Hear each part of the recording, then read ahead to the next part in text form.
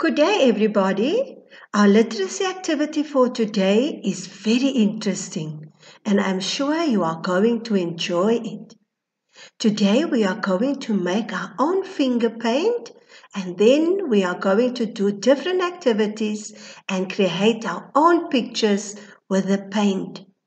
Finger paint will help you to stimulate your senses by touching the paint, smelling the paint, see the beautiful colors and pictures you create.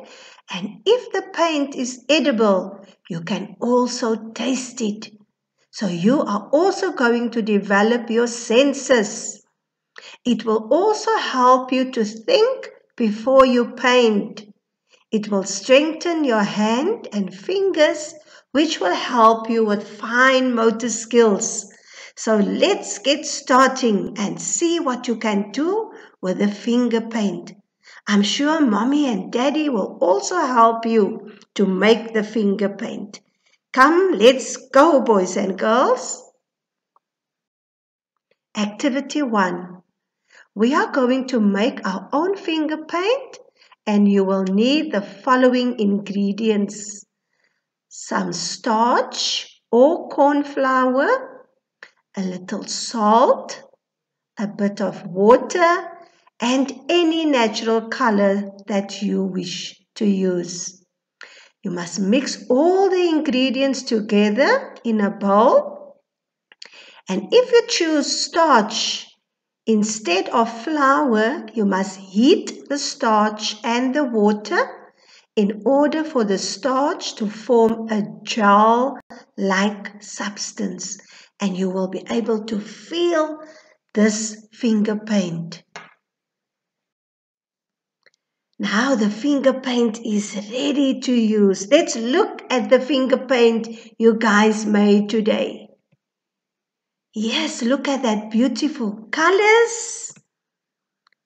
And if you made the edible paint, you can also taste it. Well done. Activity 2. Now we are going to use our finger paint, explore with it, and then you create your own picture. You can also create your own uh, patterns and write the letters of the alphabet. So for activity two, boys and girls, I want you to explore with the finger paint and create your own picture. I want you to write the letters of the alphabet or do some patterns. You did well, boys and girls. Look at those beautiful colors and how you are trying to write and draw a picture in the finger paint. You did well. Look at those patterns. Beautiful work. Keep on practicing. Activity 3. I want you to go outside and look for things that you can paint with your different color finger paint. Look at those beautiful rainbow color paint. Well done. I see some beautiful and colorful pictures you created. I also see some flowers. That is beautiful. And I'm sure you enjoyed painting with your fingers. And look at those patterns and colors. Beautiful. Well done, boys and girls. For more fun, I want you to go outside and look for things of different color, different shapes, and different patterns and keep on writing and drawing in the finger paint.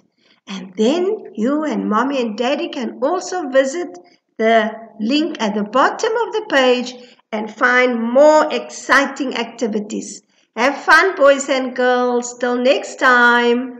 Bye.